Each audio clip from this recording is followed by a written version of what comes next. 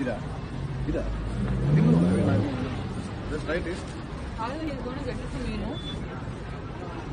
You want